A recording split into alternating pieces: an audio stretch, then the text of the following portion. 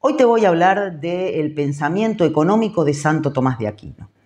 Eh, Santo Tomás de Aquino nació en 1225 en una familia acaudalada con 12 hijos, cuya decisión fue enviar a uno de ellos, a Tomás, a que estudiara, a que se convirtiera en religioso para de esa manera asegurarse sus eh, bienes económicos. Sin embargo, Tomás tenía otra idea, siempre fue rebelde.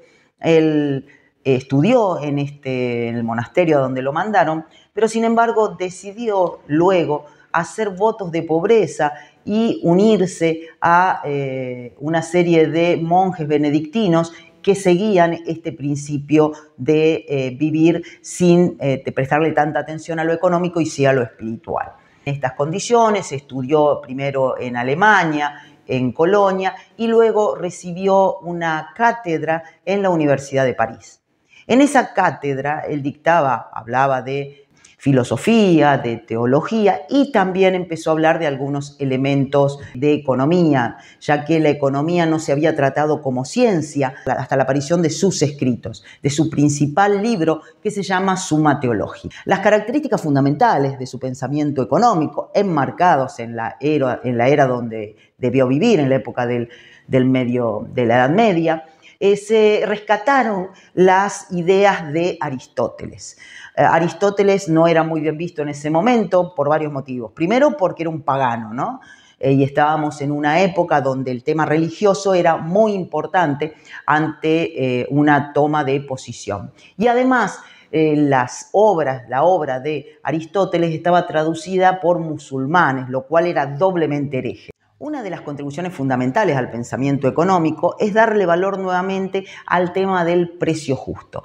Él creía que el valor de los bienes debía establecerse no buscando la codicia o un sobreprecio por parte de los comerciantes, sino que debía darse un precio justo para ambas partes queda claro que él no estableció que era un precio justo, simplemente que estaba en contra del lucro que veía en los comerciantes de la época. Claramente todavía no se habían determinado ni, ni el mercado, ni lo que era eh, la oferta y la demanda y el punto de equilibrio, está claro. Otro de los aportes fundamentales de eh, Santo Tomás de Aquino es preguntarse qué era un intercambio comercial o qué intercambio comercial se consideraba justo. Él los distinguía en dos tipos de intercambios. Uno que era el natural, el que provenía tipo del trueque que se hacía antes y se utilizaba la moneda como forma de intercambio, pero sin el espíritu de lucro.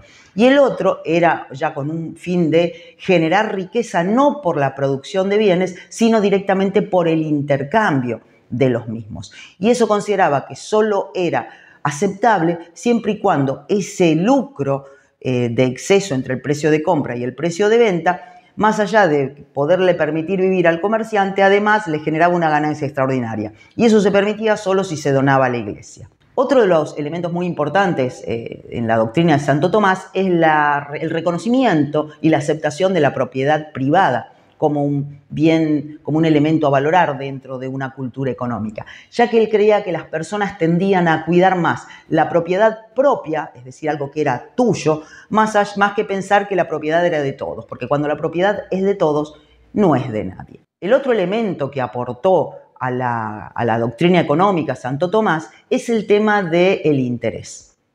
El interés por el uso del dinero. Él consideraba, de la misma manera que Aristóteles, que el dinero no podía generar más riqueza por sí misma, no podía generar más dinero por sí mismo. Por lo cual, el exceso, o sea, aceptaba un pequeño interés por el uso del tiempo, aceptaba también de que si un prestamista no recibía su eh, préstamo eh, en devolución, debía exigir una retribución porque a él le había costado un sacrificio privarse de ese dinero, pero no, no aceptaba la tasa de interés, eh, ya que lo consideraba parte de una usura y esa usura no estaba aceptada y no formaba parte de la doctrina aceptada por la iglesia y consideraba que era un pecado.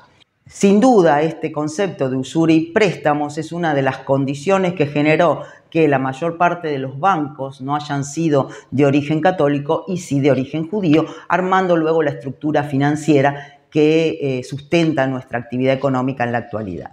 Santo Tomás de Aquino nos dejó la puerta abierta para discutir sobre moralidad y ánimo de lucro, tratando de encontrarle algún tipo de límite a, esas ansias de enriquecimiento indeterminado que tenemos los seres humanos en general.